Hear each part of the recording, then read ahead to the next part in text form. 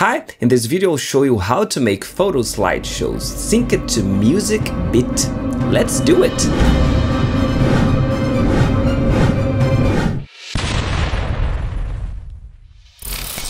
Let's get right into it. I'm here with a session that has one audio clip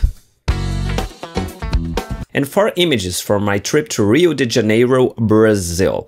I'm doing this with only four images to keep it simple, but you can do it with unlimited images. Now I will import the audio to my timeline, okay, and I will trim it to about eight seconds. We've got one minute of audio. Let's trim it about 8 seconds. I want an image for each bar or 4 beats. Let me show you what I'm talking about. I want an image here, two, three, four. Another one, two, three, four.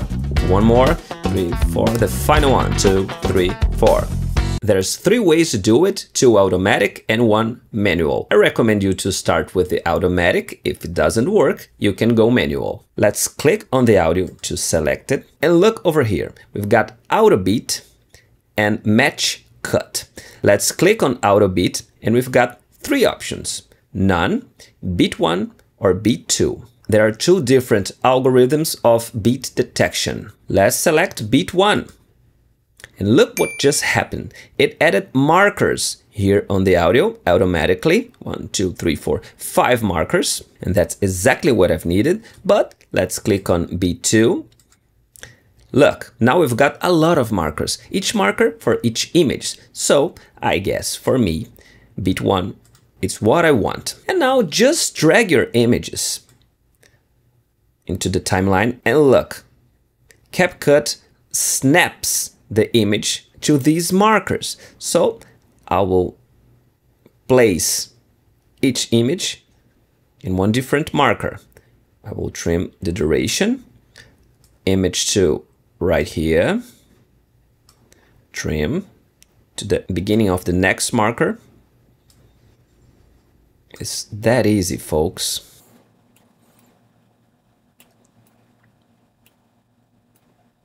Let's see how we're doing.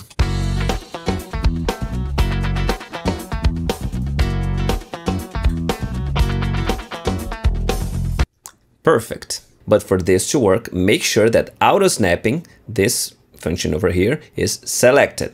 Otherwise, it won't snap your image to the markers. But let's make it better. Let's do some stuff. This image is fine, but look, there are blank spaces over here. I will click in the image, I will click on canvas, and I want some blur, right? And this one, maybe, okay, the second one. That's nicer. The third image, I will enlarge, amplify it. Nice.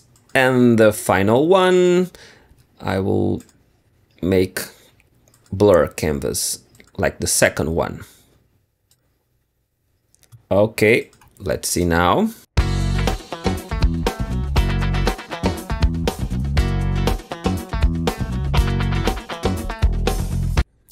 Cool. But we can do more optional stuff. Let's add some transitions. Why not? Click on transitions like this pull in right here, drag and drop.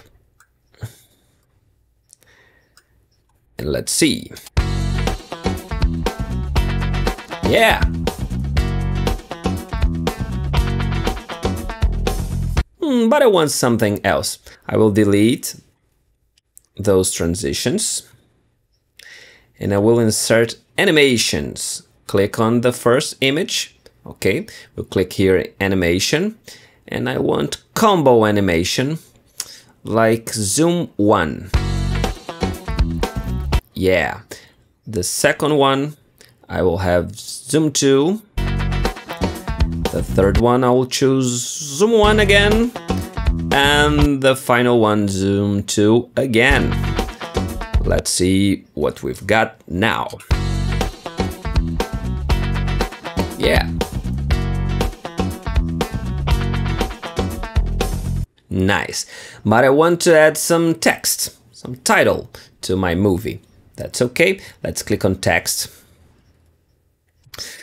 Uh, text template Let me choose this brand hoodie over here. Okay, I will drag into the timeline and I want it to last only the duration of the first image. Okay. Okay, but brand hoodie. it's not the text that I want. I will delete and I will just type Rio exclamation point. Okay, and I will put smaller here. Let's see. Okay, and goes away.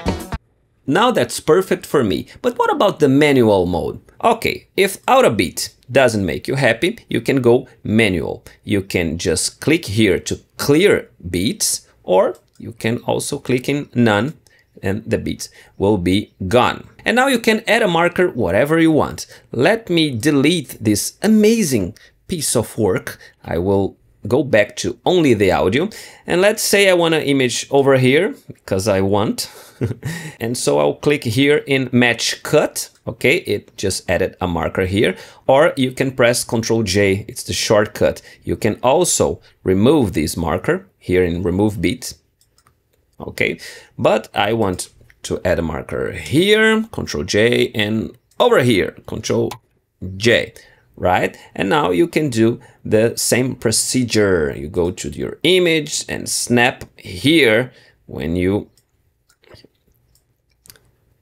in the marker that you manually just created